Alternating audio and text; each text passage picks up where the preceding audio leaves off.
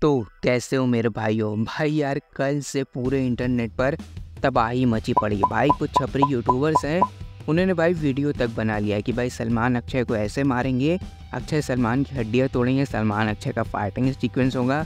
सिकंदर में a main villain Akshay Kumar है and भाई सलमान का एंट्री सीक्वेंस ऐसा होगा, अक्षय का एंट्री सीक्वेंस ऐसा होगा।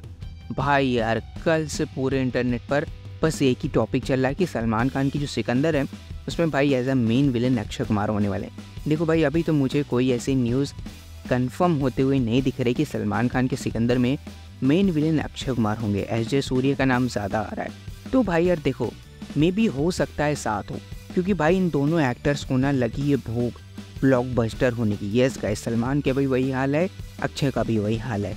क्या पता ये लोग अंदर अंदर कुछ बड़ा प्लान कर रहे हैं? क्योंकि भाई, सिकंदर मूवी का बजट 400 करोड़ है।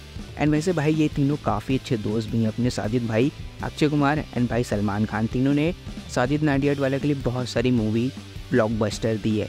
तो भाई, यार देखो, अगर मे भी हो सकता है ये लोग साथ आ गए।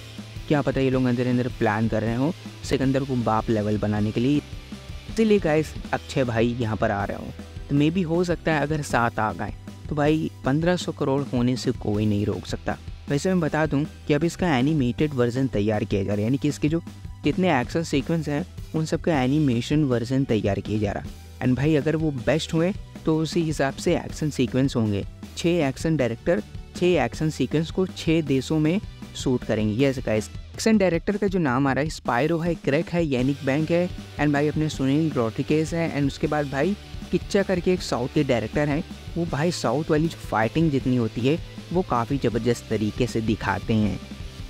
शुरू में तुम्हें बता दूँ, सिकंदर में भाईजान का डबल रोल है। एक पुलिस कमिश्नर है, और एक भाई है अपने एक आम पॉलिटिशियन जिसकी जो पॉलिटिशियन वाला है, उसकी एज थोड़ा सा ग्रे सेड होने वाली है। एंड वाला पुलिस वाला है, वो थोड़ा यंग होने वाला है। देखो गुरु, मेरे दिमाग में तो भाई सिर्फ़ एक ही चीज़ चल रही, कि काश ये सच हो जाए। यस गाइस काश ये न्यूज़ सच हो जाए। तुम्हें क्या लगता है प्लीज़ मुझे कमेंट करके ज़रूर बताना।